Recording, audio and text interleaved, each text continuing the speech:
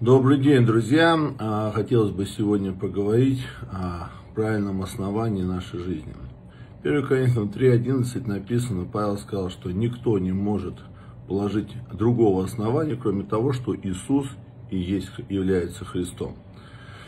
А, в устроительстве церкви мы должны всегда понимать, что когда Иисус Матфея 16 глава спрашивал, кто я, то у людей, а, которые еще не имели основания, что Иисус является царем царей, Господом господствующим, что он тот, кто оживотворяет человека в его духе, они видели в нем человеческие черты характера. То есть они видели в нем человека, который делает помощь близким Еремия, э, любит людей, человека, который знает четко закон Божий Иоанна Крестителя.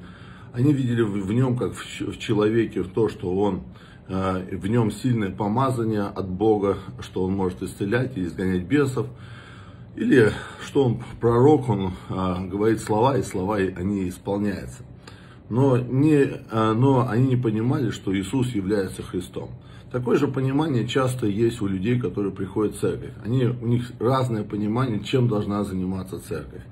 Они думают, что церковь должна помочь людям, а, в их проблемах. Церковь должна освободить, исцелить. Церковь должна а, а, являть чудеса, знамения или научить нравственным законам жизни, или же в то же время, как говорится, иметь пророчество на каждого человека. Но все, что должно церковь являть и делать, это давать слово о Христе, давать Христа в жизнь человека, чтобы Христос стал хозяином в жизни человека в жизни человека. И если Христос является хозяином, то все остальные вещи, они изменя... А, станут на свои места. Поэтому есть сегодня церкви, э, которые а, а, под мнением часто людей или по необразованности пастора принимают движение гуманизма, то есть движение помощи людям, движение угодить людям, чтобы люди получили через них любовь Божию. Я этим занимался 22 года, и я знаю, что сколько бы ты люди, людям бы не делал добра, ты никогда, э, у них не, э, не получится, скажут, достаточно и хватит.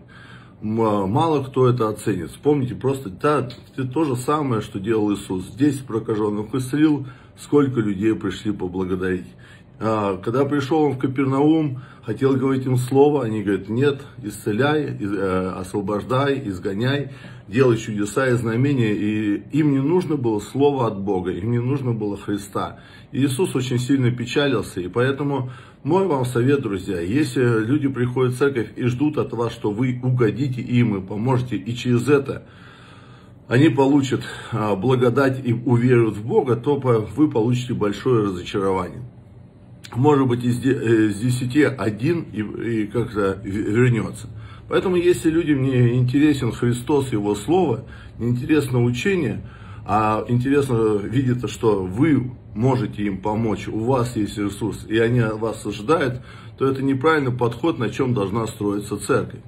Но у неверующих людей, как и во времена Христа, они будут ожидать, что именно это должна быть церковь. Даже простой пример могу сказать когда я был в Южной Корее, южнокорейцы, они а, понимают такие вещи, что а, самое главное для возрождения страны, это чтобы были сильные пастора, которые будут давать Христа и, и формировать духовные основания в жизни а, людей. И тогда и страна будет духовно возрожденной, и разложения ее так не будет. И поэтому вся паства, они вкладываются в пастора, они покупают ему машину, они заботятся о том, чтобы все необходимое было у пастора, чтобы пастор только постоянно учил и давал слово. Но, например, в российских церквях я часто вижу следующее, наоборот, что люди, приходя в церковь, не понимая, что э, пастор должен, все, что должен пастор, это давать Христа, его слово, они ожидают, что пастор должен им помочь. И пастор обязан им помочь, и в основном они не хотят учиться, они хотят конкретно, как говорится, не учите меня жить, помогите материально. Поэтому сегодня я хочу вам, чтобы, чтобы вы понимали, что главное основание а, это Христос. А Христос что делал, чтобы а, ученикам пришло это понимание? Он три года учил апостолов, три года каждый день учил, чтобы к ним пришло понимание, что Иисус есть Христос. Тогда изменились их мотивы, изменились их цели, изменилась вся их судьба. И мы теперь а, учеников видим, что они могли поменять эпоху. И теперь а, второе, что я хотел сказать, самое большое благословение, это когда ты сталкиваешься с человеком эпохальным. Человеком, который может Христа утвердить на престоле твоего сердца. А еще сильнее, это когда ты встречаешься с человеком, который видит, как можно поменять город, как можно поменять всю страну Христом чтобы принести реформацию и возрождение, чтобы разрушилась культура сатаны и утвердилось Царство Божие. И когда вы сталкиваетесь с эпохальным человеком, держитесь и старайтесь сделать все, чтобы быть возле эпохального человека, чтобы помочь ему совершить ту работу, которую в него вложил Господь, стать частью его команды. Тогда вы станете историческими личностями, и тогда в вашей жизни произойдет шедевр в вашей жизни. Поэтому и этот принцип, он касается а, всего. Если вы нашли человека, который а, специалист, большой специалист а, в своем деле, старайтесь быть рядом с него, с ним, и, и через это вы а, возрастетесь. Потому что надо развиваться как духовно, так и в таланте. И я вам говорю, что духовно надо находить эпохальных людей. Надо не людей, которые вам служат, а людей, которые вас учат жить по воле, воле Божией, учат вас жить Христом. И, это, и эту вещь сделал апостол Павел. Из всех апостолов он э, совершил больше всех работы. Почему? Во-первых, у него по мышлению он был а, из царского рода, и он знал, как управляется страна. Он знал, как формируется культура страны. Во-вторых, хоть он и не был э, напрямую учеником Христа, он хорошо знал Писание. И из всех апостолов он 60% Библии написал. И что же он сделал такого, что не смогли сделать напрямую ученики Христа? Он поставил систему образования. Он ежедневно обучал своих учеников. Ежедневно. И евреи, а, фарисеи даже сейчас говорят, если бы в христианстве не было апостола Павла, который еврейский метод обучения, наставничества поставил в христианстве, то христианство бы не выросло до таких размеров. И апостол Павел сказал такую фразу своему Тимофею. «И что слышал от меня, то найди верных и научи».